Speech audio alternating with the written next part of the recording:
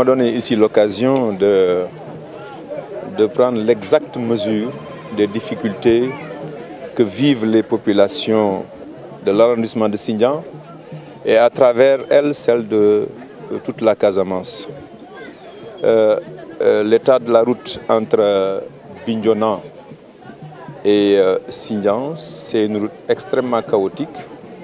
Et quand je suis arrivé à Sindian, j'ai écouté les femmes, j'ai écouté les jeunes parler des difficultés euh, quotidiennes euh, qu'ils vivent.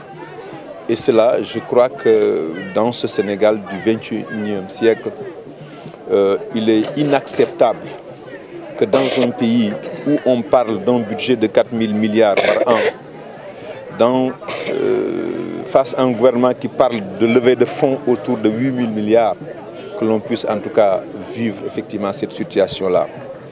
Et euh, c'est pourquoi, euh, à mon avis, ça a été très facile pour euh, les responsables du parti dans cette partie de la Casamance de mobiliser autant de monde pour venir en tout cas marquer, disons, leur désaccord par rapport à la politique menée jusqu'ici par le président Macky Sall. Voyez-vous, euh, le président Macky Sall a une vision qui s'arrête à Diamniadio. Euh, euh, le président Macky Sall a englouti le Sénégal dans un trou. Et nul doute qu'il n'a pas les prérequis en termes d'expérience, en termes de compétences pour sortir le Sénégal de ce trou-là. Et vouloir effectivement faire ce qu'on appelle du.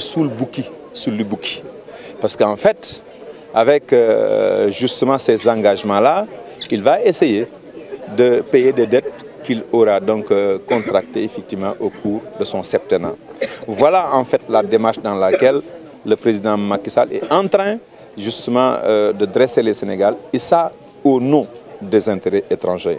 C'est pourquoi je pense qu'effectivement, c'est même malhonnête de sa part, à deux mois, comme vous l'avez si bien souligné, à deux mois d'une échéance électorale aussi importante que la présidentielle, de vouloir engager le Sénégal dans une, dans une, dans une, en tout cas dans une direction dans laquelle il n'est pas sûr, en tout cas, de continuer la gouvernance de ce pays.